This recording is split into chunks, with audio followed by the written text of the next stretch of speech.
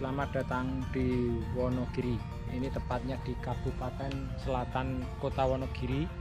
Ada patung bedol Deso yang dulu di sini sekitar sini adalah apa perkampungan penduduk Wonogiri dan dibangun waduk Gajah Mungkur. Terus masyarakatnya ditransmigrasi ke Pulau Sumatera. Mari kita lihat-lihat pemandangan di sekitar sini.